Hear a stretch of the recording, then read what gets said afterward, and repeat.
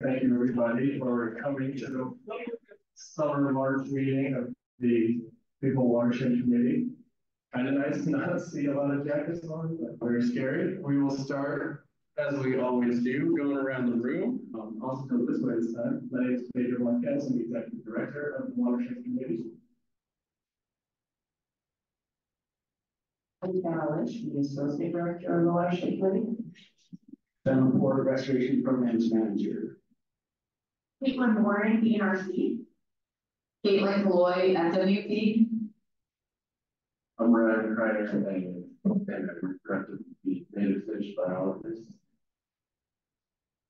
Mark Raffi, Lower Big Hole Rancher, and on, on the Big Hole Watershed. Emily Downing, Vermont Western Ventures. Keith Peterson, Upper Big Hole Rancher. Jim Burby, Native Services.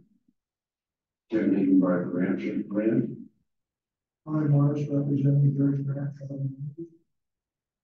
Randy Smith, Mr. Glenn. Don Jackson, County Manager, Low Ranger. Jane Peck, Rancher from Melrose. Shannon Dunn, Montana Bureau of Mines and Geology.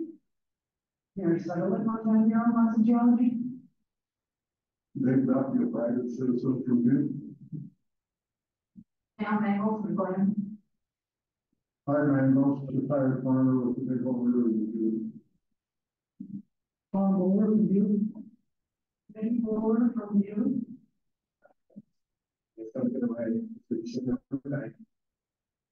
Frank Fallon, local resident, Wise River.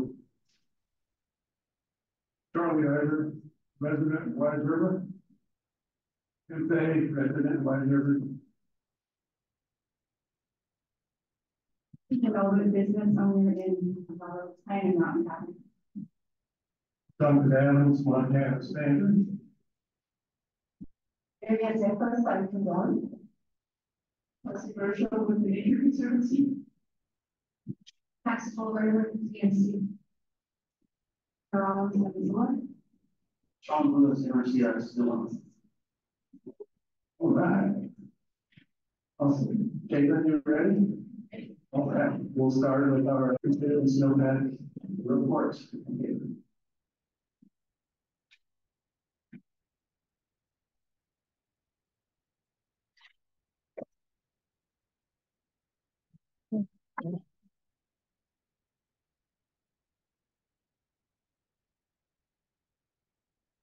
Yeah.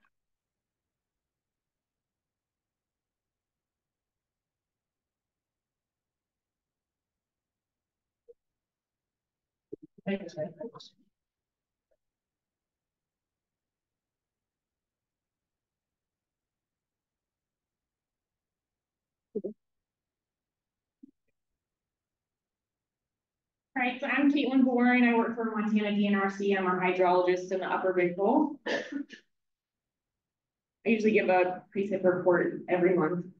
I just started putting this up on our on my presentation every month so that everybody knows where our stream gauge sites are. Blue is real-time sites, red is seasonal sites, and you can access it at this website. So if you ever want to know what's going on with Big Hole, it's right there, and it'll be in this max format. I also wanted to talk about our stream gauge program. We got a bunch of money from the legislature to add hundred new stream gauges to Montana's system. And this is a map of everything that we're going to be doing either in the future or in next year. I think their goal this year is to increase our stream gauges by 30 of them. And the ones planned are the are the stars, the yellow stars. The, the green triangles are existing gauges that we have right now, and then the red is proposed future stream gauge sites, either 2025, 2026, or 2027. Um, something cool that's going to happen is we're getting three new gauges in the Big Hole area. The first one is going in on the North Fork of the Big Hole River below the battlefield. We also got approved to have a real-time site on Deep Creek, and then the next one's going to be on Wise River above Pattengail. Those two, I think, are going to be put in in 2026, but the battlefield's going to be put in this year. So that's cool to have something on the North Fork.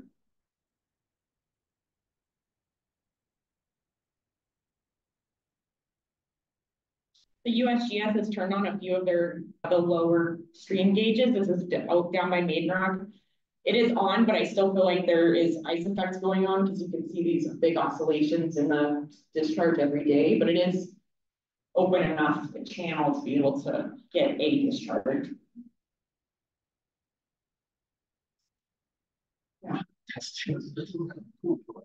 Melrose is also on and their um temperature gauge is also running, so I think that it's a little bit warmer. It looks like a couple of peaks at forty-six degrees since March fourteenth, so that's kind of crazy. Glen is on and it's got some oscillations in temperature that are going up past forty-five degrees. Snow water equivalent in the big hole is sixty-nine percent of median values. It was at seventy-two percent, but I think those warmer temperatures over the last couple days have dropped it down a couple percentages. This is the Hipsome Sweet, so basically where the snowpack is elevation wise, and what you can see is most of the snowpack is between six thousand and, I don't know, eighty-five to nine thousand feet. Everything's below average right now, as we all know some of the SNOTEL sites that we got. Dark Horse Lake is at seventy percent of the NRCS median right now, Slat Barker Lake sixty-two percent, Calvert Creek, which is that low elevation, is at fifty-six percent of normal. Precipitation is seventy-two percent of median values right now.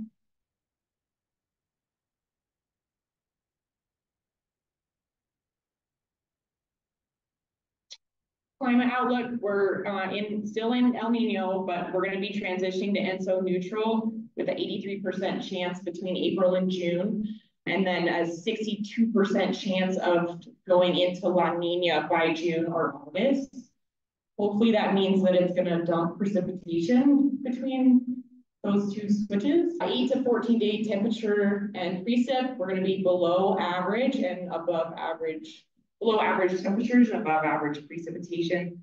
Seasonal hasn't changed since February. Still, they're predicting higher than average temperatures and equal chances to below average precipitation.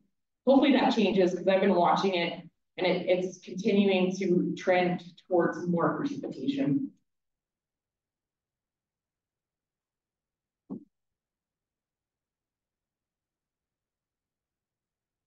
This is the drought monitor. It was updated on March twelfth. This is kind of more in depth than I usually show, but I wanted to just, it has like start current drought conditions and then last week and then at the start of the water year. So it's kind of super interesting. Most notably, we've got this like big red spots that have developed and that's extreme drought. This is all accessed at um, drought.gov if you want more in depth.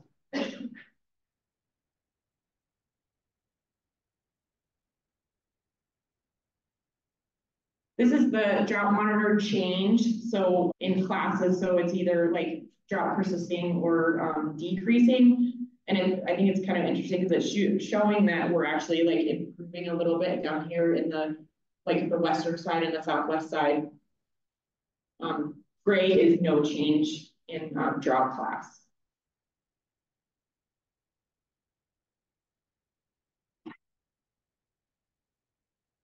So this is a schematic of departure from normal temperatures ranging between February 9th and March 9th of this year.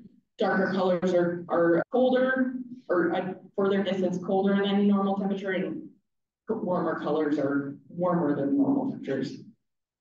So it looks like we're doing pretty, like we're pretty on par with normal temperature changes. Here's just another schematic of county precipitation rates.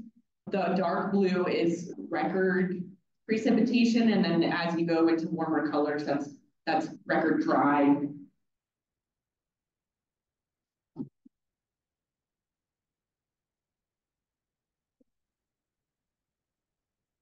Alright, is that all I have?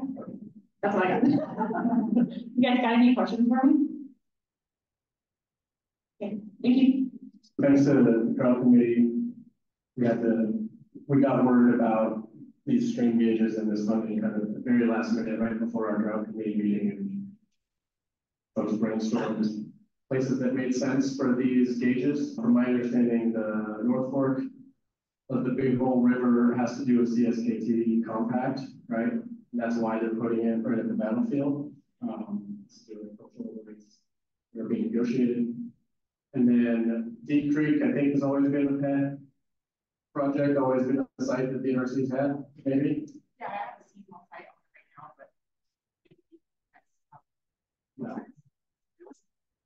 Yeah, easier for you, to right? Yeah. One less site to go monitor. So we've always had, we've been gauging Deep Creek for, for a while, but now it'll be automatic when that comes online.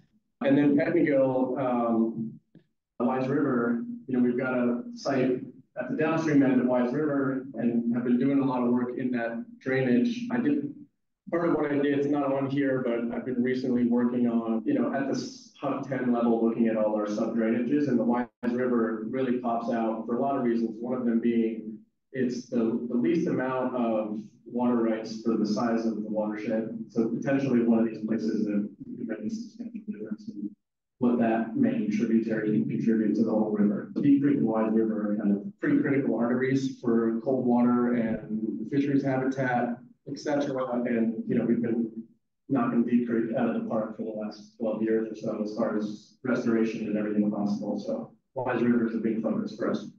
That's just a little background on why those gauges came out. We toyed around with a couple other ideas. If anyone has any ideas on places where we could have a real-time gauge, always bring it to us and, you know, we can put it in the mix for future conversations. Um, okay, I don't have in here also just a couple note on two, uh, of our partnership agreements that we've been working hard on. Um, first with the Forest Service, uh, at Elkhorn. That project is just now really moving forward into light speed. The forest seems to find big piles of money every time we ask them. We're at, we're doing a, an ECA, which is an environmental valuation cost analysis. It's the Superfund version of an environmental assessment where you have to talk about the different things you could do on a site and why you chose to do the thing that you're doing. That document's in draft and we have money already secured for a thirty percent design. Long story short, it's fifty thousand cubic yards of contaminated soils still that need to be pulled out of that location. The Forest Service has closed the Elkhorn until we get this remedy done, probably not till the funding works out. The Coolidge ghost town is still open, so you can still go access the site, you just can't cross the bridge and go into where the orange water and the soil is until we get it out of there. But we're, got a draft agreement going now. They also found structural damage to the mill. No one should ever be on that structure and you know, people have made music videos, like kicking that dirt around, and that scared the Forest Service pretty bit. And they issued a closure order for good reason. We're getting money to retrofit the columns on that structure so that it doesn't fall. So that's a big effort. That has to all get done before you get equipment in there to dig out the dirty dirt. So they're putting about $550,000 into our existing partnership agreement to get all this work accomplished in like the next year. And then design comes in, gets finished, and then they're looking for another probably two and a half to four million dollars to get the remedy actually completed, starting in twenty-six. Um, and it's a beautiful thing, these partnership agreements, because the feds need to get their money obligated and they like working through us because we can move a lot faster than them. So we're, we're kind of sitting in a great spot to just get these important projects done. Similarly, with the BLM, with our existing agreement that Ben's working on, the Eastern Pioneers, they also happen to find a pile of six figures of money that they're gonna pour into our existing agreement. And we're looking at, it's gonna expand this program to close, with Forest Service money to close to a thousand acres, I think, of, of conifer encroachment or uplands in right there, and it will be doing over the next couple of years. Okay, that's just the, the, the public dollars and grants. I wanted to bring up these two events that are coming up, um, Conifer Expansion Summit that, uh, the Southwest Montana Sagebrush partnership is putting together on March twenty-seventh from one to five, that's at U Western, I think. Right, and then Wild Montana the very next day, um, hosting a conversation with Hillary Hutchinson about watershed challenges, and I believe Wade Fallon is gonna be there as well, co-presenting with her. So that'll, two events that if you're all around, around Dillon, please go to. Um, and then the third one, which is really exciting for me, in the smelter work that we've been doing, I was told about this gentleman, Jack Blazinski, who's a retired Forest Service employee, who just has a passion for that area, and he has, he was mapping the old log flume from that Mount Haggin area from the mining days. And he had it all in UTMs, and I, at one point, like, it's a way to do mapping. And at one point, I spent like half a day trying to redigitize what he was doing, but thankfully now he's got a book coming out, it's actually out. It tells the story of that, the whole flume construction and logging, it's fascinating. We're now, you know, we've been cleaning up the mess from that flume for twelve years now, but it's also a feat of engineering and ingenuity that, that there's still parts of it still around. So that book is out and you can get it. Second edition books in Butte, Thrifty Drug in Anaconda, and Jack and I are supposed to hook up, and I'm supposed to bring some copies here. So we're having some. Anyway, for history, people, that? That's a good question. They're like twenty, around twenty-eight dollars. Twenty-eight, something like that. Anyway, great little piece of big old history that's been published. I'll go run through really quickly. We're just running through. Uh, Broadreach Fund is a, a foundation out that was really interested in the beaver related work that we've been involved with. And uh, we found out that we secured about 20 grand from them for a variety of beaver related both capacity and projects. Um, we requested some money to the High Stakes Foundation. We've been with them for the last two years. Uh, Cinnabar, again, we requested. oh. We requested another amount. This is all kind of capacity money, just keep the wheels turning for us. Um, and then I'll bring up a couple issues that came, that have come up recently, uh, that hit my desk. Um, cloud seeding, a feasibility study has been approved for the big hole.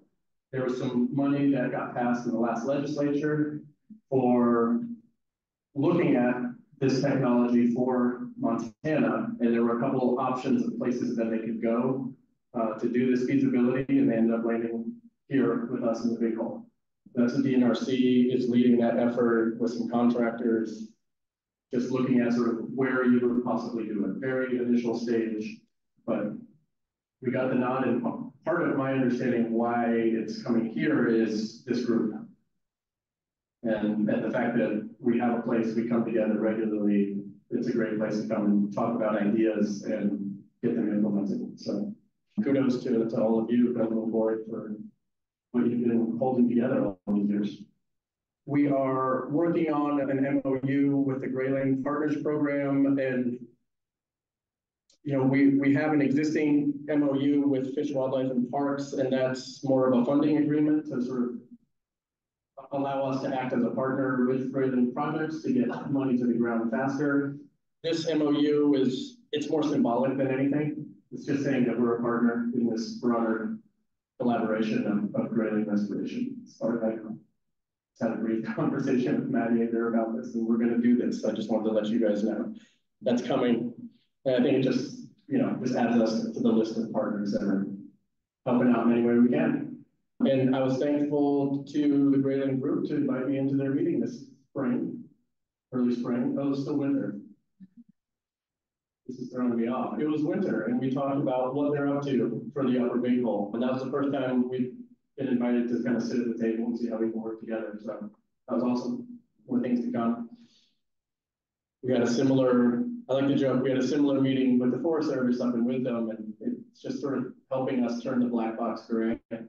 So like we know a little bit about what's going on, so it's like less of a mystery. And as part of, I think, partnership development, it's all good. It's slow, but it's good. Black box and gray. And, and eventually it becomes transparent. We're just driving along. The reason I will not be at either of these two is they're the exact days of the Montana Beaver Working Group meeting. I've been sort of leading kind of the regulatory part of that group for years, um, so I have to be there for that one. Ben's got his hands tied up with other things. That's it for those announcements. I'll go into the the mountain of what will be my life for the next two months. It is proposal season and there's money to be had out there and there's no reason to not go after it other than writing grants and sitting at my computer all the time, but that's what we do. We got a proposal submitted this morning for Elkhorn. We had a presentation on biofiltration last year where this bioagriculture company had created a mycelial filter for acid mine water. So instead of a very expensive ion filter, you grow mushrooms on corn cobs that you buy for six dollars a ton, so you can do this at scale. And the substrate that is created is negatively charged, so you run positively charged ions in contaminated water through that filter, and they just suck right on, the metals just glue right onto the substrate. So the request here was to actually test this technology on wastewater seeps that are lower volume of water, higher concentration of metals. It's going to be way more applicable. This technology will be way more applicable for that setting. The added water we tested it on had, it was way too much water with not enough metal. So it turned out that the calcium held up, the calcium bonded to all the binding sites. There's too much calcium. Anyway, that these are things we learn. That's why you do pilots. So hopefully we can get that technology deployed and, you know, once they sort of work out the kinks, then you've got technology that can be taken to any acid mine seep on any mine site in Western Montana, grown fairly easily and easily deployed. So that's what we're working on is kind of scaling the technology up. We have a major project at Pennington Bridge that will be getting designed this year. And we're just anticipating this RRG program comes once every biennium. So we got to get the request in now for the legislature to uh, approve next session in 2025. Uh, we did request money for this project last year and had a great conversation with the Bureau of Reclamation. They love the project. We just didn't have enough design yet for it. So we feel really good about getting that design money. Once we have the design, we'll reapply to the same grant. That's looking really good. I won't go into too much detail, but happy to talk about any of these projects if they're not ringing a bell. That's the, the S curve down by the Pennington Bridge. The river used to run that way under the upper bridge. Now it makes a hard S turn and it's eating away stream banks. And if it eats away the bridge and a county road, that'd be really bad. So we're trying to avoid that. And we have three solutions to that problem. At just below Melrose, we're going to go to that same program, the same two programs I think will be a good combination to fund the double diversion down south of Melrose. Those are two diversions right next to each other that we have a design to consolidate them into one. Jim Olson's working on a, a, a fish project uh, with the channel that's going to get abandoned. Um, when you add fish to a project like this, it's easier to get money. It's amazing how difficult it is to get money for just irrigation projects, which we're also working on at Wise River and Jerry Creek. We have designs, we're ready to go. We're just sort of picking away at where we think we can get funds for it. There is a program that the DNRC holds that we'll apply to. I have not worked with this program yet. Hopefully that'll get some of that money in. Um, and then these not quite sure yet. These aren't for sure, but we've been in, I've been in touch with uh, an engineering firm that is looking at pulling out, this is GIS exercise, pull out every high meadow in the big hole and show me how much, if you were to, how much potential storage there is in those meadows if they were fully saturated every spring. Fairly straightforward, but this is in addition to, in combination with looking at hard storage options, which we already know, we already have. This is a more natural lower tech way of storing water in a lot of places, less volume. And then I had a good talk with Jeanette Abdo, who thought we may be a good candidate for looking at that site that we discussed last November. for managed aquifer recharge and putting in a WIP proposal for them to do a feasibility of that location. So these last two are still kind of in discussion. That's all I got. That's gonna be my life for the next couple of Don't anyone want to switch? To camping for any time you consider. All right, no questions, then we'll, we'll jump to the steering committee then. Yeah, we have a lot. Okay. Wow, appreciate it. I do not know. um, Pedro asked to, uh, work remotely for a year So.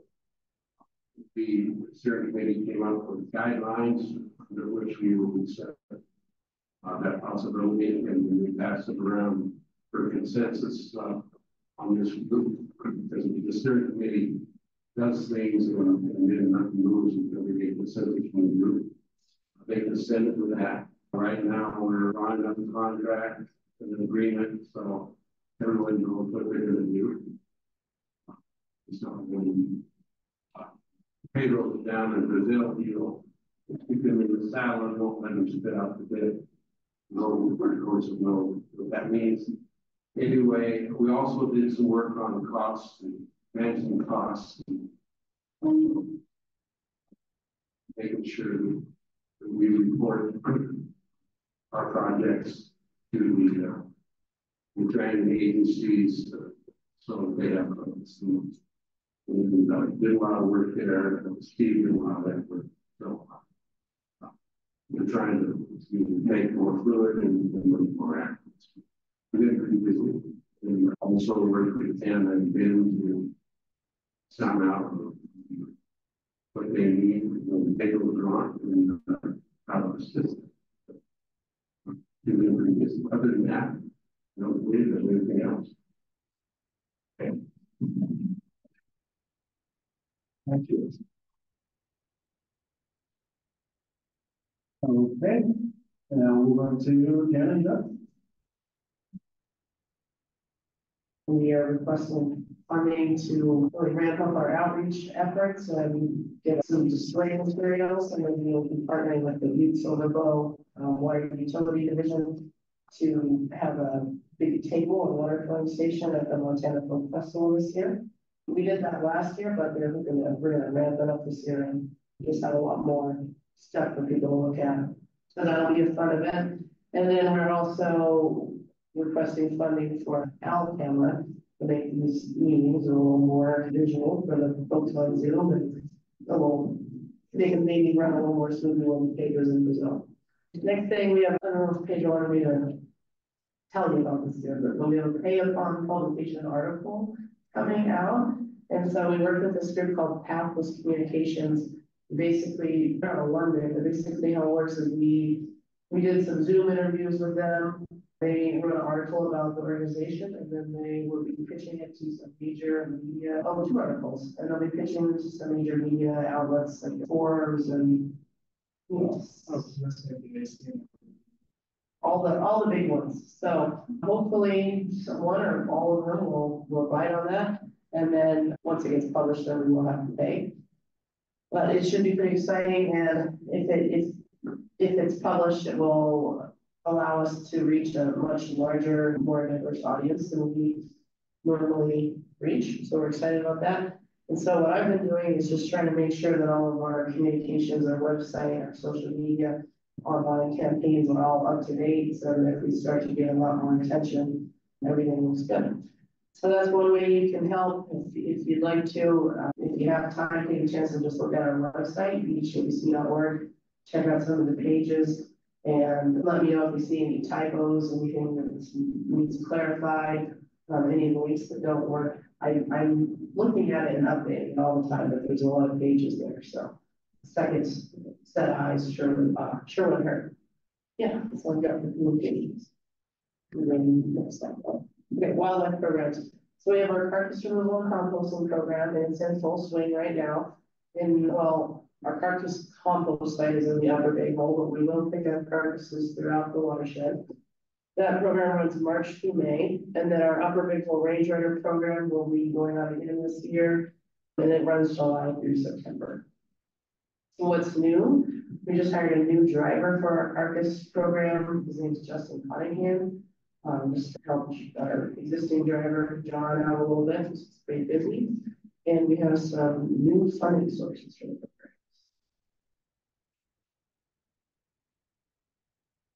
So these wildlife programs are kind of feast or famine with the funding. We're often trying to piece together funding year to year and um, getting, you know, one year grants, that'll just float us for that year and hoping that somebody else will come up uh, the next year. So we're pretty excited to not be in that situation for a little while as we, we've got our um, twenty twenty-four livestock loss board funding, which is twenty-one thousand dollars and secured. But then we'll also be some recipients of some large grants. We'll be, uh, the American the Beautiful Challenge, which will be hundred and forty thousand dollars through that over four years. And then the Regional Conservation Partnership Program grant, we will get about hundred and thirty-three thousand over five years. So that's gonna take a little stress on the individual and also just allow us to run those programs better and potentially expand them to make them better for the folks who transfer. So if you have any suggestions on ways we can make the programs better, please let me know. Now or later.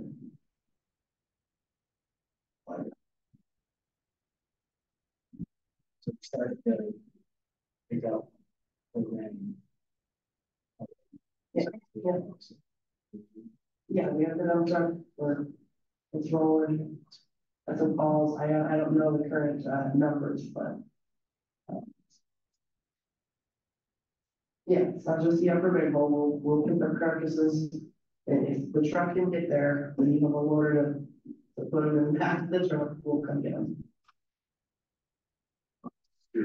Um, the two sub awards, were those amounts that you requested of those partners, or? Like, did you already have a budget? Yeah, so I had put on there the before. So initially, we had to write letters stating what our match would be and what we were requesting. So I, I guess I haven't heard officially that those are the amounts we we're going to get, just that we will be funding. So I guess there's some question there. Hoping that we'll, we'll get everything we asked for.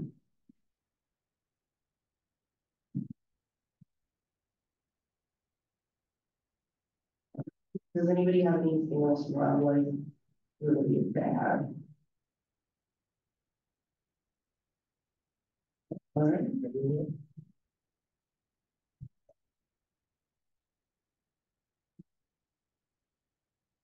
All right, well, these guys kind of summed up a lot of what's on my plate already, which is proposal season and project.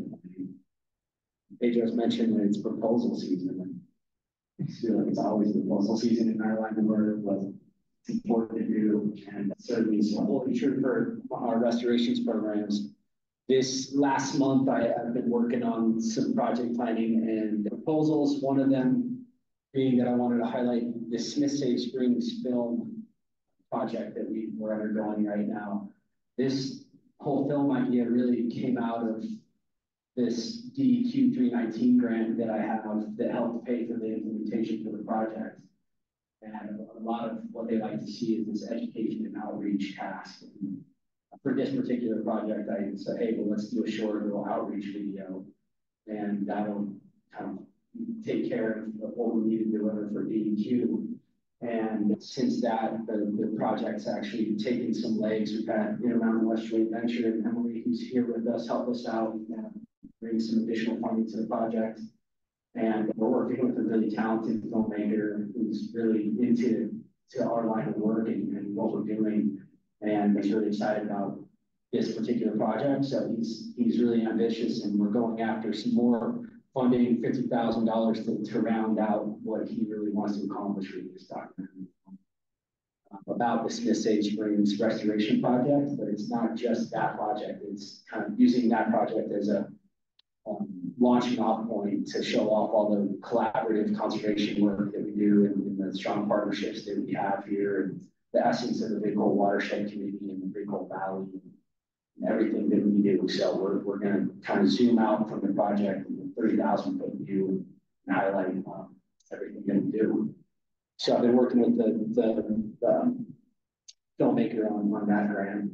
The other thing that's keeping me busy that I wanted to highlight for you guys tonight is our Elkhorn Ranch revegetation and fencing project. So they're calling it, but, uh, we've been thankful and lucky enough to have some new landowners and, and some really conservation minded folks move into the Wise River, the Old Zucker Ranch, and been working with these guys over the last year and a half to strategize, uh, projects and, and sort of triage how we want to go about doing some conservation and restoration work on that land. And, uh, the revegetation of their stream banks is uh, kind of always fizzled up to the top. And, you know, the, the folks over there have been talking with the CCAA program, perhaps get involved with them, but you know, we're not gonna wait for that. We're gonna just go for it. Writing a DEQ three nineteen grant to tackle this and Wise River's just downstream here. And, uh, it's hard to tell what, what we're talking about, but basically I want to revegetate uh, over six thousand linear feet of main stem big hole bank. With that, we're gonna install just over a, a mile and a half of riparian fence. There is some bank reshaping, and sloping that I want to do, and then I want to incorporate some exclosure cloths. So this, this is kind of the whole project overview here. This red line is where the riparian fence is likely gonna go and tie into some existing fence infrastructure. You know, the next one down. The yellow lines here are all the banks that are unvegetated. I walked these banks a couple weeks ago and it's. Yeah, it's, it's, it's gonna be a lot of revegetation. I think what we're gonna do is we're gonna do a lot of willow trenching and then staking. And then come in and let the, the passive restoration do its thing with the riparian fence. But I've just highlighted these bluer areas where there's gonna be some exclosure plots. We'll, we'll do a six foot high fence and plant a ton of aspen and cottonwood in there. So developing this project, it's gonna be, it's gonna be a big effort, but luckily we have three years to do it, three full planting seasons. So this one's due early April and I'm gonna get that one submitted and, and cross our fingers. The next thing that I wanted to highlight was our Mount Haggin culvert removal and replacement project. The bids closed on that this last month. We had some really good qualified bidders bid on the project, so that was good. I went to get those things out to bid early enough to get contractors to buy on them before they get really, really busy. Um, but luckily we had some competitive bids and I ended up awarding the, project to Ari Miller and Dylan here. So they're excited about it. And uh, we're gonna start to do that work in July after the uh, high water runs its course. Uh, so I just need to get contracted with them and be moving other happenings, I've been doing some project planning for our Eastern Pioneers work that we're doing with the BLM. Pedro touched on modification that we're doing with them, and this is the work that I just know that we're gonna do this year without the modification. But it's in this Trapper Creek tributary. There's more than what we're gonna do with just this conifer encroachment project, but this is on the immediate radar for me to get crews out and do work on. And it's the same exact specifications that we did on our Browns Gulch riparian conifer encroachment removal. It's going to be very similar, but we're just working in this Trapper Creek tributary. What's really cool about this project is that over the last two years, we've already done the low tech, you know, BDA stream enhancements. And now we're going to come in after that and do the riparian conifer encroachment. So it's going to be a nice complementary project to the, to the low tech work. And just below this reach, JM's been already done the riparian conifer encroachment on his land, so I think it's gonna be a highlighting project, good cross boundary project, so. We're gonna start cutting the week of April eighth, and I got these employment program, to go some junipers out of that riparian area. Okay, and then lastly, this is exciting for me is I want to premiere our Upper Oregon Creek outreach film for you guys. Uh, this is actually another DEQ outreach task that we have to do. Uh, this is the same filmmaker that's doing the Smith Sage Springs Restoration Project. Uh, this was only about three minutes long. The Smith Sage Springs project would have been similar to this, but we didn't get So stoked on that, but probably, let's see if I can turn this up here.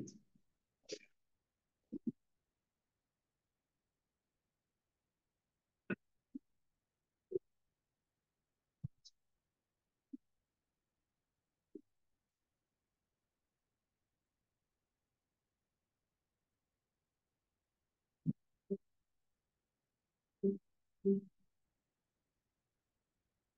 Uh, while we figure this out, though, just before we play it. um, This is all the Anaconda smelter impacts that we see here. This is.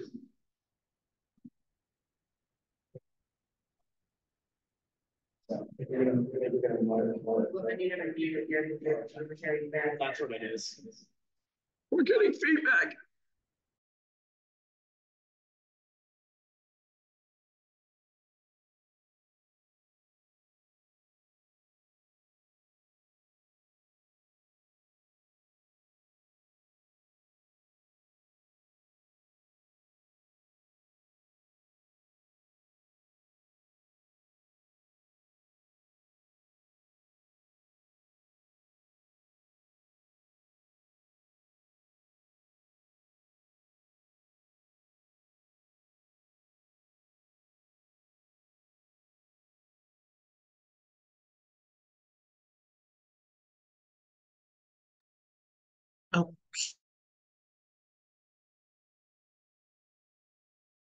To me that we're muted for. And uh, that's a big issue.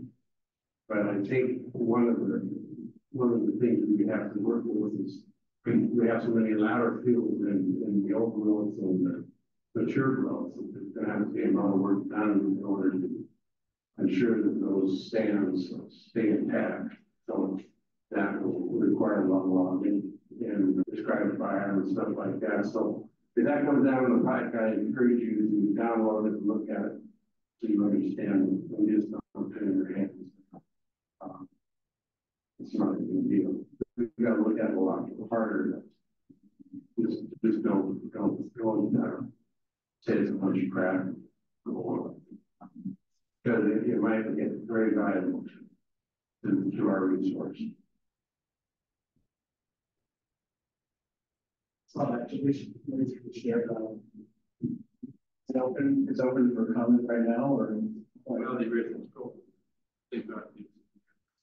Yeah, we'll on that, we'll share. Any other? I'm just curious, I'm just curious about the soils where you guys have done all that work. Is it, is it clean? Is it, is it toxic or? What's going on with the soils? They're clean for the most part because when the first smelter emissions really hit everything and the logging started 120 years ago, you know, 1880s and 1900s, that's when you had all the fine, the clays and the silts still in the organic soil. And that's, when that washed away, that washed a lot of the contamination with it. What we're left with that volcanic top parent material is really sandy. So there's just not a lot of places for metals to hang out. So the pH of that soil are five and a half, six, perfectly normal for a pine forest. And that was one of the, yeah, twelve years ago when we started and we saw all these white spots on the map, we thought we were gonna have to be, you know, helicopter liming and disking in compost on the continental divide. And a little bit of research and some pilot studies later, we realized that it's just missing a lot of fertility. And the new thing that, you know, Ben didn't touch on, but we, we understand that we can juice the soil and give it nutrients and we can get grass to grow. Next step is based on our conversation from last month and the bio regenerative ag solutions guys. We've been working with them, and we'll be putting out a test plot to work on stimulating the soil biology. So all the nematodes and the critters under the soil, if we can give them the food that they need, they're the ones that are gonna get the nutrients and bring them to the plants ideally. So just because we don't want to be in a cycle of continually juicing a degraded soil that doesn't get better by itself, right? Question. Oh, yeah, and thanks, Steve. I think you're on Zoom, but Just note to everyone in the room, Steve, you know, in a meeting was like, oh, I was up in that Oregon Creek area, it's hosed, you know, it's totally got white stuff coming off the mountains and it looks terrible. We should do something about it. So thanks, Steve, we did. Uh, but you know, if you guys see problems out there in the landscape, that's, that's how we, we jump on it and we bring partners together and we, we get some good work accomplished. So with that, I think we'll have a break. And then we'll come back to hear from our grayling team. I'll call you guys back. All right, we're very excited to have a large team. I'll let everybody introduce themselves, but this is our grayling program, folks. We'll get an update. We haven't had in quite a while. The grayling recovery program team, they're fresh off uh, a big meeting yesterday. Here you go, Caitlin. ignore the title. We're not going to be talking about Centennial Valley, meant to delete that from yesterday's slide. So we will be focusing on Big Hole. Um, I'm Caitlin, I'm, as some of you have already met me, I haven't met everyone here. I'm a riparian ecologist. And I took over Jarrett Payne's position, so remember Jarrett. Don't remember you, Jarrett. Sometimes that makes remembering my name easier, because then there's another Caitlin in our group. But Cass is next to me, so let Cass introduce herself. Hi, everyone. For those of you who don't know me, I'm Cass Kohler. I was the Arctic Grayling CCA Hydro and Habitat Technician for the past two years, but I recently transitioned, transitioned over to the Nature Conservancy. Uh, And that's kind of a bridge position since Jimmy he retired. I'll be taking over some of his responsibilities this year until he gets rehired out. So super excited to still be working with the Bayco and being part of all the great work that gets done. I'm Water Caitlin, you all know me. I'm Sean Lewis. I know a lot of you in the room. This District conservationist with the NRCS out of Dillon, uh, covered Beaverhead County. And I'll show you more about what we do here in a little bit. I'm Ryan Kreider. I am native fish biologist in southwest Montana, so FWP Region Three. I work on primarily Arctic grayling and west slope cutthroat trout projects throughout the region, so. Okay, you can go to the next slide. So again, new members, we just basically went over that. Next line. I think a lot of people get confused on what it means to be a riparian ecologist. So I just thought I'd quickly put this here. Um, I'm administering the Big Hole Centennial Valley CCA programs. I do a lot with the landowner relations, enrollment, writing site plans, project development, riparian management, riparian assessments, do some permitting, and obviously I work with my team. We basically just went over this, but again, this is our team looking at the big hole. And as you can see, Jim Olson works a lot in this program as well, but he will be doing a presentation later this year, so I didn't force him out here today. So what is the CCAA? It stands for the Candidate Conservation Agreement with Assurances. So this is a voluntary program for landowners. And the goal of this program is to ensure a fluvial population of Arctic grayling in the upper reaches of the historic Big Hole drainage. And we do this with four conservation measures in mind. Improving stream flows, improving and enhancing and maintaining riparian habitat, reducing entrainment, and reducing barriers to fish migration. Currently, we have thirty landowners enrolled with hundred and sixty-seven thousand acres in total. About five and a half of those are DNRC leased land.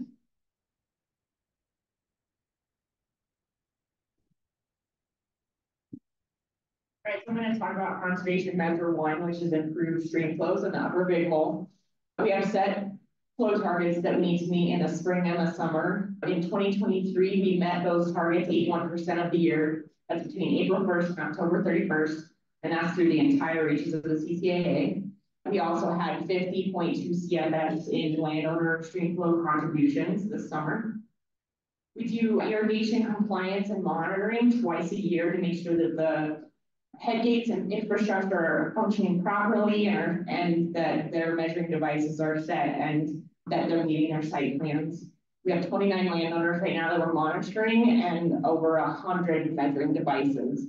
We also have those four DNRC real-time stream, real-time stream gauge stations, two USGS gauges, and eighteen true track sites. This is a map of all the things that we monitor throughout the CCAA. That includes my stream gauge sites and um, all the flumes uh, that are included in enrolled properties. This is just another map of all of my stream gauge monitoring sites. And then the little orange Cheerio things are um, the true tracks, which are those data loggers that Pedro and I have, used in Wise River. And those are either on tributaries of the Big Hole River or in larger or larger diversions. Uh, just an update for 2024. We we're, we're working towards including all stream all streams that are um, either grayling spawning habitat or refuge tributaries. And so this summer, I'm going to be putting in true tracks in Pintler, Plimpton, Fish Trap, and Warm Springs, in addition to my plethora of true tracks that I have right now.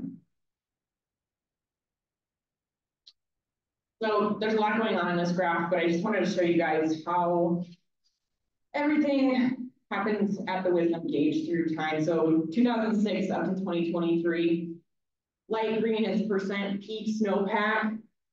The bar, the blue is year-to-date precipitation. The green, this right here is days below 20 CFS at Wisdom Bridge.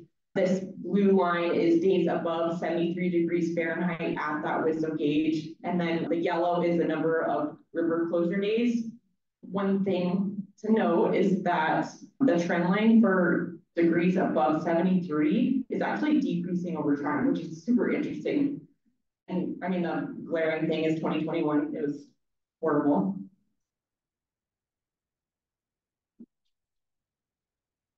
Wanted to talk a little bit about landowner contributions in the CCAA because I we feel like it's one of the most important things in the summer to keeping those stream flow targets being met and keeping the wetted perimeter.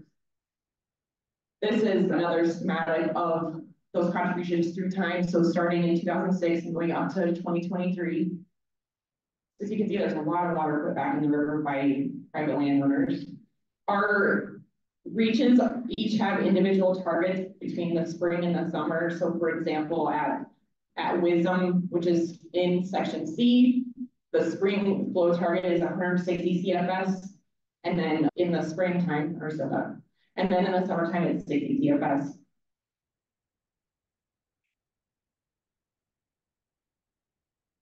Because of how this winter is going, we got together and we kind of put together a drought plan just in case things don't improve or we don't get precipitation in the spring and going into the summer.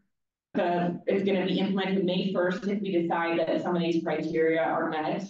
But what it would mean is that A, B, and C reaches would be combined into one reach target flow, and it would be 60 CFS starting in on by May 1st instead of that 160. And the criteria for meeting that would be percent sweep for the water year. And I want to, and we'll evaluate what the percentage is for every elevation of snowpack. Also, eight less than 80% precipitation for the water year. We'll also look at higher than average air temperatures before May 1st. And then when the peak spring runoff is starting, if it starts earlier than May 1st, because as we all know, the average is about June 1st for that peak flows. And then also, one of the criteria is climate forecast for May and June, which would include less than average precipitation.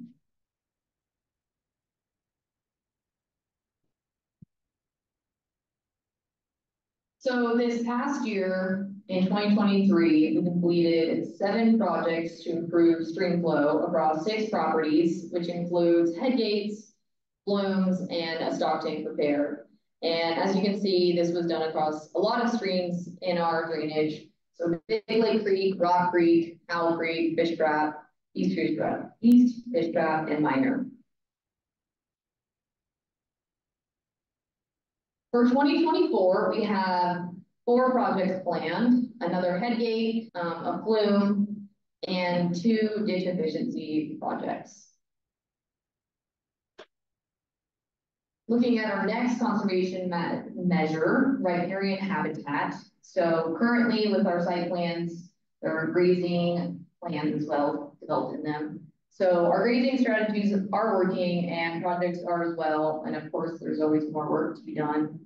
The highlight, the last year, we did a restoration on the Big Hole River with a high flow channel activation. These two photos, the top is before and the bottom is after. It's not taken from the exact same viewpoint, but it, this bank was armored with a lot of vegetation. And DNRC helped develop a lecture app to make data collection more efficient in the field.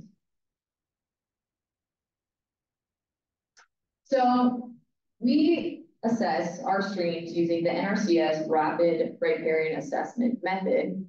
And there are ten categories in this assessment, but they basically get down to two things, which is stream morphology and vegetation. So is the stream incising? Is it becoming too wide, vegetation wise? Is there low cover or deep breeding species like willows and sedges, which provide bank stability? What is the browse? And so on. So this assessment is out of hundred and they are rated into three categories. A zero to forty-nine score is non-sustainable. Fifty to seventy-nine is at risk, and eighty to one hundred is sustainable. Currently in the Big Hole in our program, the average is seventy-eight point zero eight across two hundred and fifty-nine miles. So that average puts us just into at risk. And comparing this to when the program started, which is sixty-nine point six, we can see there's been a lot of growth. This past year, Cass and I completed sixty-five point twelve miles of assessments. A lot of walking, a lot of walking. And Cass is the impressive trooper, she does it in Chacos. So, okay, so this graph is looking at initial miles versus current. So miles are our y-axis and these different ratings are on our y. And what we can see now is there are a lot more sustainable miles than there was in the beginning. And there's a little bit at risk and a little less non-sustainable than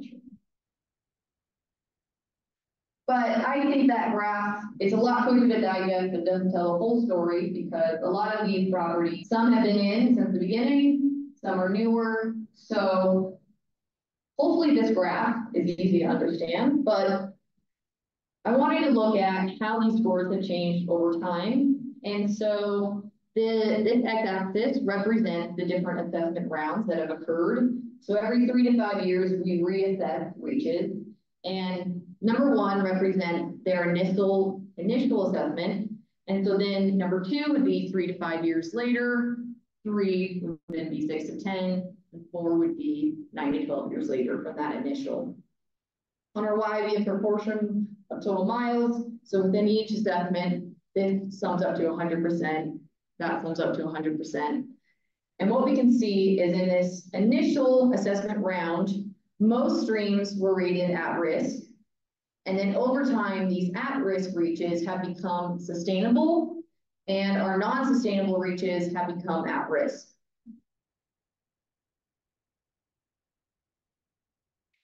And so we've done a lot of methods over the years to improve these riparian habitats. And one of the biggest ones we've been working on recently is stock water systems.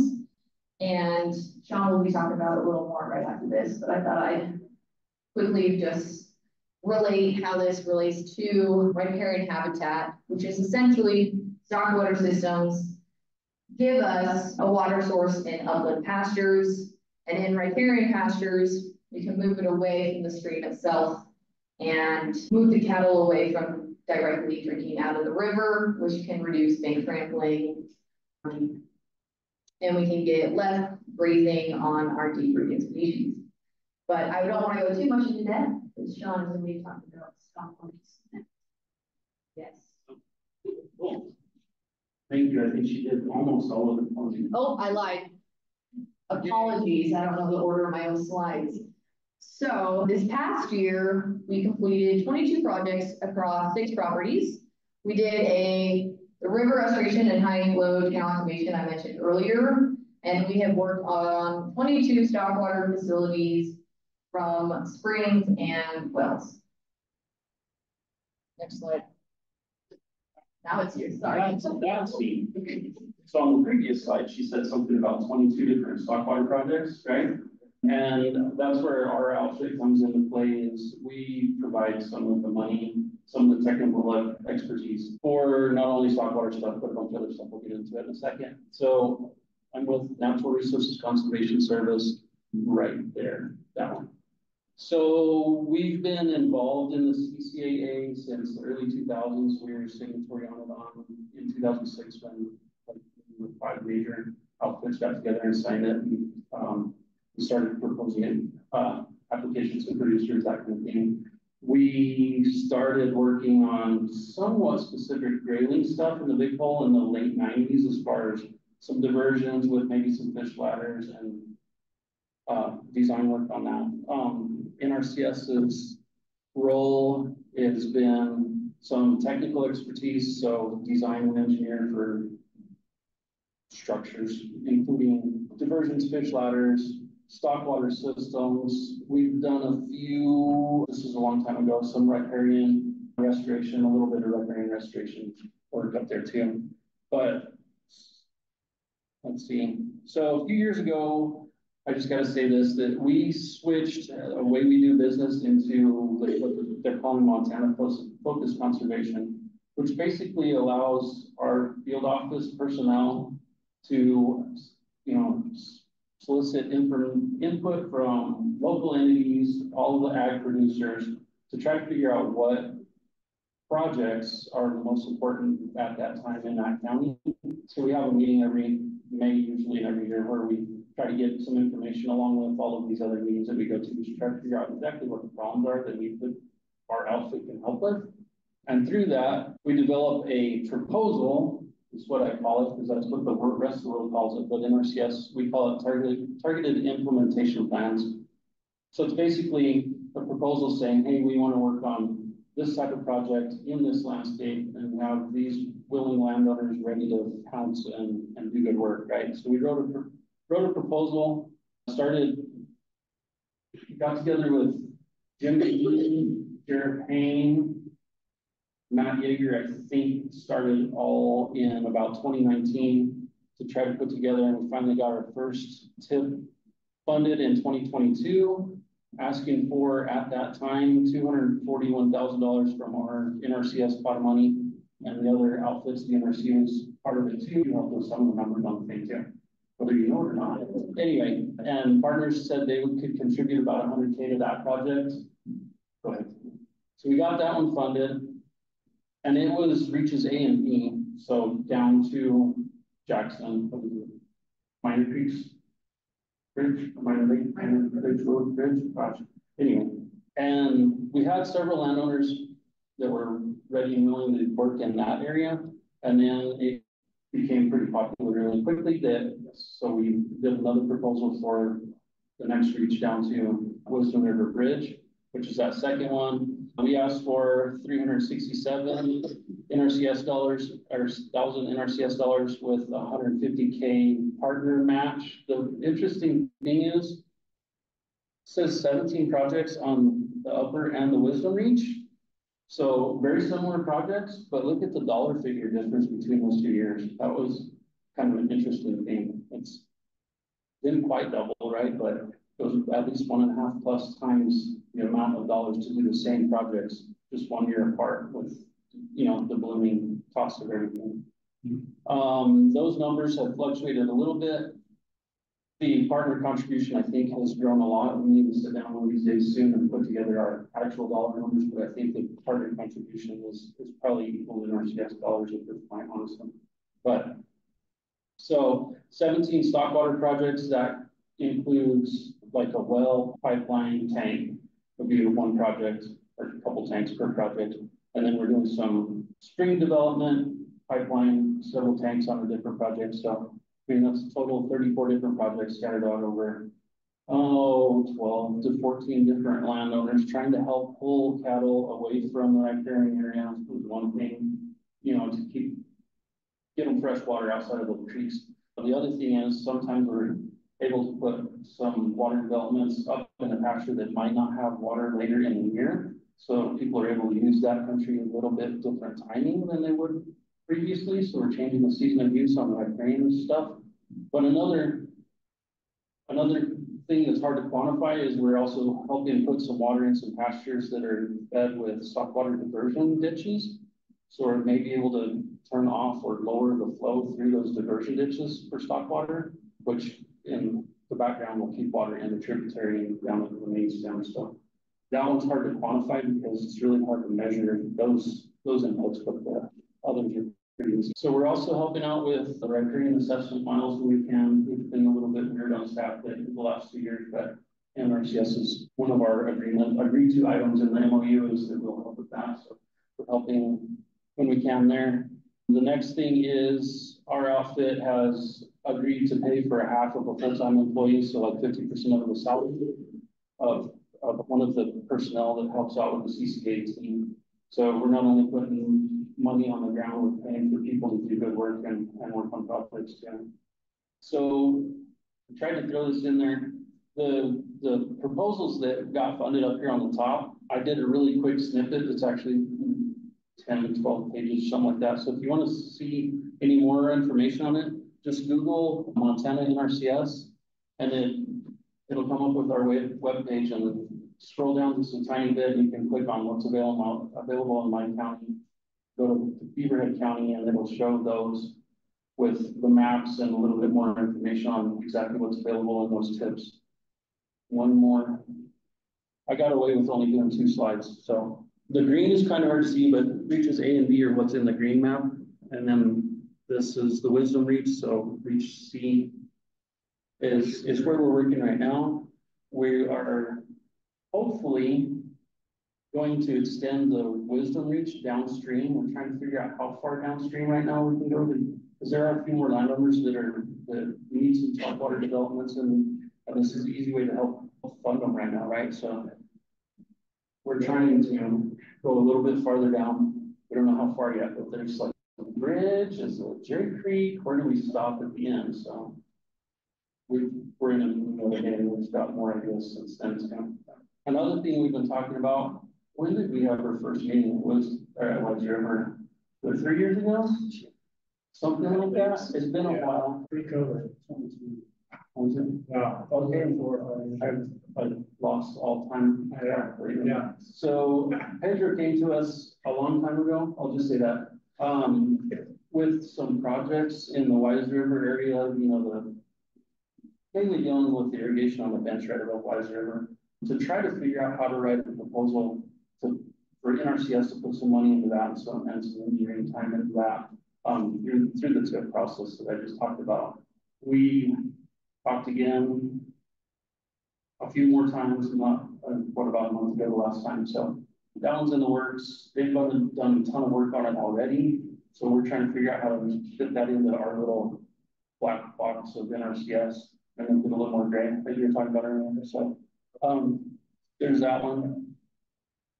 And that's kind of all we've got going on right now. I think it's May 9th, we're having a local work group meeting, so the meeting's called there in Dillon. I think we're gonna have it at the NRC building. And that's, I I give this spiel of, we have this meeting and lots of people come together and we have good ideas and da, da, da, da, but it's basically quite simply, the squeaky wheel gets the grease in some cases. So that's the meeting to show up to if you want to be the squeaky wheel. That's what puts stuff on our long range plan as far as what funding and needs there are in this county. So throw that out there. On average, how much do those stock water tanks cost to install? Ballpark, ballpark for one system, for let's say two hundred head, it would be watering at a time, in short period of time, but about ten grand, no, more than twenty grand, ten to twenty. cause you got a hundred to two hundred foot well, which is now a hundred bucks a foot, right? So, and then a couple tanks and, yeah. Ten to twenty for something that's kind of on the floor of the, of the Big Hole valley. We got a proposal from another place the other day that they're looking at seven different systems that are stretched out quite a bit, so they got some more storage needs and some more pipeline, and that one's about five hundred thousand bucks is what they approached us with. And I was like, oh, that's a whole proposal all in itself, so they're getting more expensive, just like everything else, unfortunately. I'm gonna skip off to the next, we can take questions, more questions at the end, I guess. So looking ahead in twenty twenty-four, we have eighteen projects planned. Restoration on the Governor Creek and seventeen mm-hmm. stock water systems, including the different steps involved, like drilling the well and the actual system itself. What is the Governor restoration? It's soft bank restoration, so mature willows, willow staking and sloping the banks, so pretty simple restoration. Yeah, and on five outside banks, so I stopped it before it gets too bad. Landover. Looking at our third conservation measure, fish passage, I'm not gonna go too much into detail on this one, but I thought I'd just kind of highlight how much has been done throughout the CCA program. So when we talk about these tiers, these are our tiers of habitat, like how important the habitat is across the big hole. And what I'm really just gonna focus on is tier one is our core spawning and refugia. And we have opened it up and fish now, grayling now have access to ninety-eight percent of this habitat. And before the TCA program, it was only eighty-seven. So, and with these next two tiers, you can also see a lot more habitat has been opened up to fish passage. And historically, a lot of what we've done for this is fish ladders, fixing bridges, culverts, and in the Centennial Valley, we did a uh, step pool project in kind of a new way we've never done before. And so if that works out well, it might be a new technique we bring into the big hole. So in twenty twenty-three, we still did two projects for fish passage. We did a bridge and we reset this fish ladder, and you can see not really working. So this head gate and fish ladder were reset.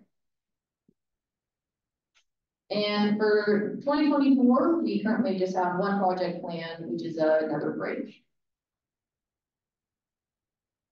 Our last conservation measure, entrainment. So according to the site plans, we survey ditches every five years. And problematic ditches, meaning the ones we are catching grayling in, we go check them annually. And this last year, we completed a project to try and eliminate basically our last threat of entrainment we were having in the big hole. So it's not a big concern in the big hole anymore. It's been addressed, including in the past, we've installed fish screens across Rock Creek and LaMarche Creek. So this next year, we do not have any entrainment projects planned. It just kind of shows we've fixed a lot of problems that were there. Okay, we can open up to questions about this now, anything I said, or Caitlin, or Sean, and then Ryan is gonna be presenting little more fish.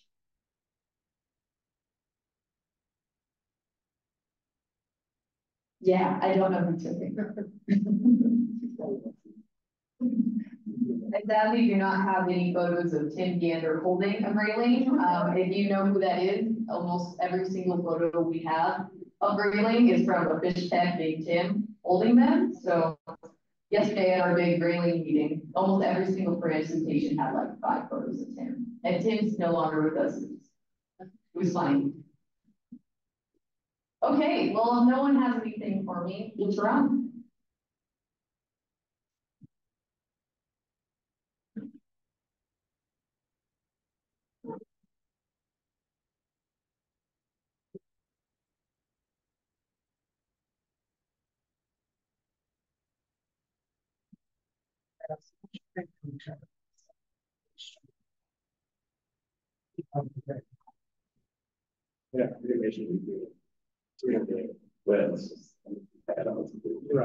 So.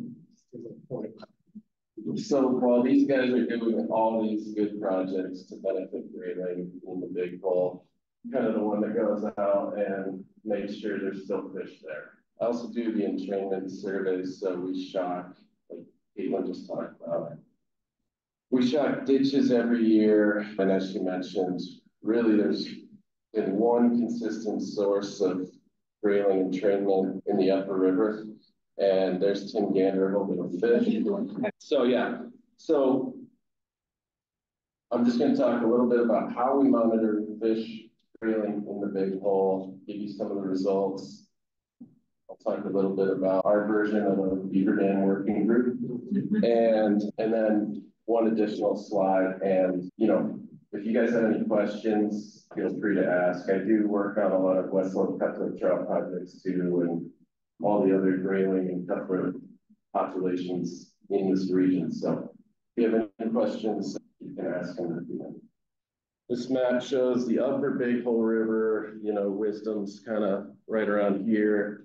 Um, the stars indicate like our primary grayling spotting tributaries. So most of them are in upper river by wisdom.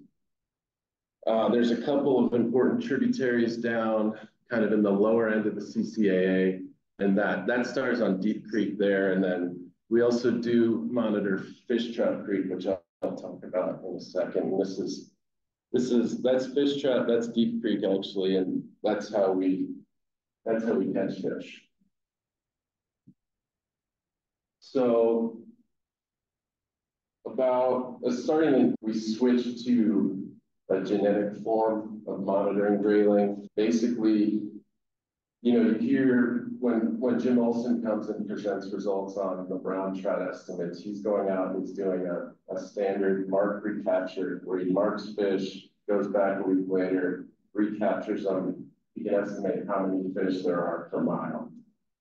That's what they used to do, but because grayling are so spread out and they are up in tributaries, they move around a lot, the, the estimates were kind of all over the place. So what we did starting in 2006 was we go out every fall into these non-spawning areas and we try to catch as many of these young of year grayling or age zero fish as we can. We take a genetic clip and that can determine the a genetic estimate of how many parents produce that cohort of fish. So I just wanted to show you, you know, this is a grayling that we, we caught in late September that hatched probably in mid-May. So grayling grow really fast.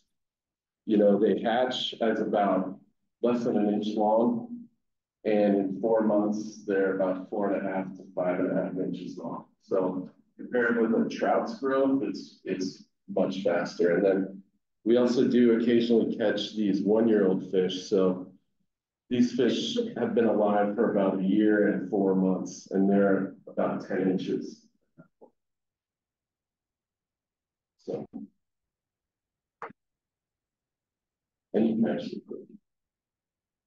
so what we do, what this estimate, like I just said, number of effective breeders that gave rise to a single cohort.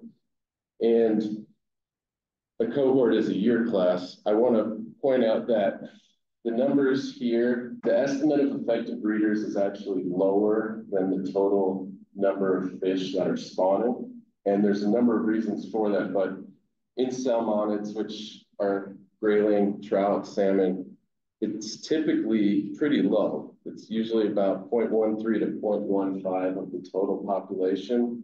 In the Centennial Valley, where we do, we actually do a mark recapture estimate and we get an estimate of effective breeders. The long-term average is about 0.19. So I'll, I'll talk about that in a second, but I guess what I'll point out is, you know, the CCAA program started in 2006. And for the first few years, we were really hovering around this kind of, it was like a consistently low number of grayling. And then beginning in two thousand twelve, and, you know, we had a big water year in two thousand eleven. Um, the population kind of bumped up and it's gone down and gone up and gone, you know, it's, it's fluctuating more, and that's really good. And I'll talk about that too in a second, why that's really beneficial, especially when we're trying to maintain like genetic diversity. But yeah, last year we did have a slight bump.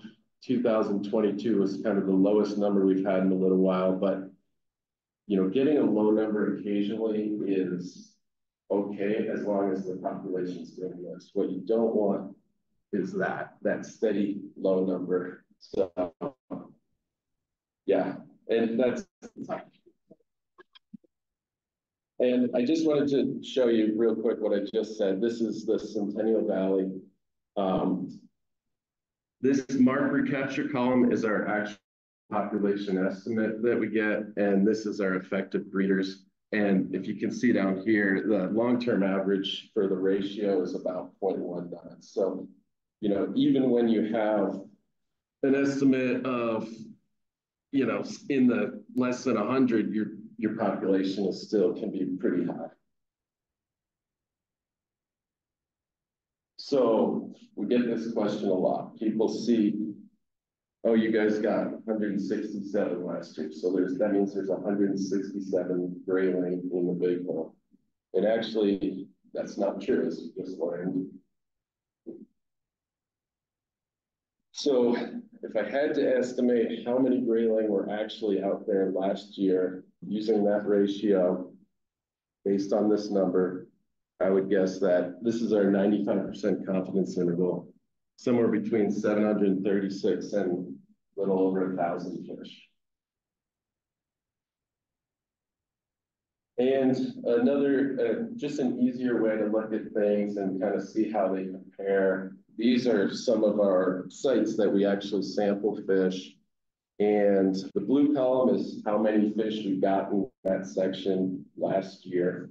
And then I put a couple of long-term averages. So you know, a 2016 to 2023 average, that's orange, and then an older average, and that's gray. And what you can see here is that last year we had couple sites, three sites that were above long-term averages, a lot of sites that were pretty much the same, one site that was down. So we see this a lot. Some years a trib produces a lot of grayling, some years it doesn't but we do have some really consistent producers of grain. And I mentioned this too, you know, one of the really big concerns when you have a population that may not be doing as well is you want to maintain the genetic diversity. There's two metrics we use, allelic richness, heterozygosity. It's just basically telling you how diverse the gene pool is you know, we all know what inbreeding is. That's what happens when you have a really low number of fish or any other animal and they're breeding together and you start to lose important genes that help with adaptation and things like that. And so one of our goals is to maintain genetic diversity over time. And you can see that over time, since the nineteen nineties, in the Big Hole River, it's been actually pretty consistent. And that's good. That's, that's a sign that this population is in good shape for persistence into the future.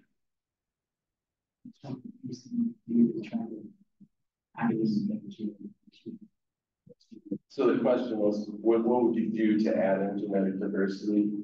Luckily, we haven't had to do that in the big hole we do see this a lot with our small isolated West Slope cutthroat population. So, you know, cutthroat used to be one big population. Like they lived in the big hole, they lived in all the tributaries, but with non-native fish and other things happening, they're pretty much isolated in these little pockets.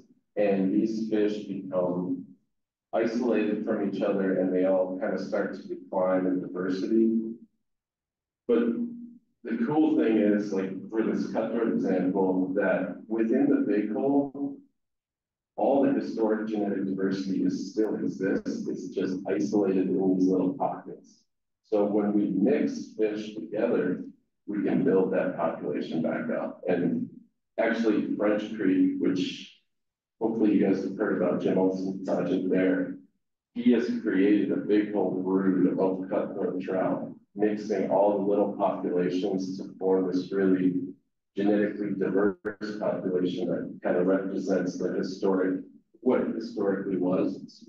Uh, but for some of our grayling populations, we do, we can mix fish around from other areas and, and do it. But I just wanted to show you this. This is Centennial Valley. This is actual population estimates. You can see we're kind of at that level I told you about. It's been low for a long time and there's an issue there that we've identified and we're trying to get permission to fix it. But at the same time, while, our numbers have been really low, you can see that the genetic diversity is declining and actually we've lost quite a bit of alleles in the population. So it's pretty concerning and we might actually have to do what we were just talking about there. So, two more times. So, Caitlin Lloyd talked about the four conservation measures of the Hole CCAA, and one of them was eliminate barriers to fish migration. The focus in the CCAA for that is um, diversion structures, you know. There were diversion structures blocking fish migrations, and as she pointed out, they've alleviated a lot of those through fish ladders and other things, culvert removals. But what we're seeing now is, you know, we're getting a lot of beaver dams, and I know beaver dams are good. Not saying they're bad, but this is a beaver dam on the lower end of Fish Trap Creek, about a couple hundred yards up from the mouth. And what you and so when I started, and I don't know if you can see this graph, sorry, I'm moving something here. I started in 2020 and we were going out and doing our fall sampling. We didn't sample Fish Trap Creek because they weren't catching grayling there anymore. We were trying to catch grayling. And I, in 2021, I said, they used to catch a lot of grayling in there. Let's go sample Fish Trap Creek. And we got no fish. And this beaver dam was at the lower end. So the next spring we went out and we notched a hole in it. Yeah. So put a hole in the dam. And if you can see that graph for the next two years, we started catching more and more. So this is something that we're gonna keep doing and I'll, I'll just run through a couple more examples and go to the next one. So Steel Creek up by Wisdom is a really important spawning tributary for grayling. The long-term average, we get about 28 per year and it can range as high as 60 per year. But in, in 2022, so this is Steel Creek here, and these are beaver dams, the red dots. We got six, oh, go to the next slide. We got six fish and they were all in the lower 400 yards of stream. And this, this site is like three miles long. So we went out the next spring and notched seven dams. And then that year, yeah, next one. Next year, we got 25 grayling and they were kind of spread all throughout. So yeah, just something that we're going to keep doing. I think I might have a couple more on that But kind of skip through Plimpton Creek, another important one. It does fluctuate. Um, we got a low number here, not some dams. Number went up. This one can range really high, but I do think that from what I've heard, these low numbers here were probably due to beaver dams in that part of the uh, year. We did some notching on LaMarche Creek too, which isn't as important of a tributary for spawning, but it's really cold and really like to move in there in the summer when the main river gets hot.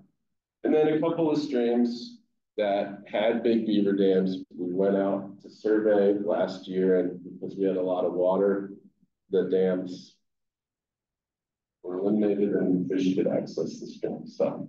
And I'm just gonna show here that I think in two thousand twenty-two, on these six streams, we estimated there was about two point six miles of accessible habitat. And through notching and basically